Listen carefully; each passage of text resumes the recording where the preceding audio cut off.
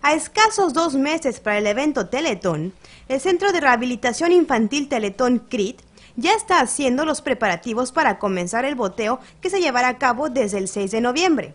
Estos preparativos comenzarán con la convivencia de los niños Teletón con otras escuelas en el fomento al cuidado de la vida, en el Jardín Bicentenario.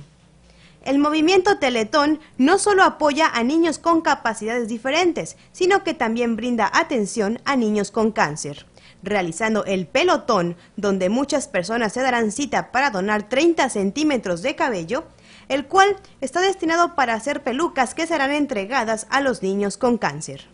Por último, la meta del Teletón espera supere los 445 millones y en el caso de Quintana Roo, se espera sean casi 2 millones y medio.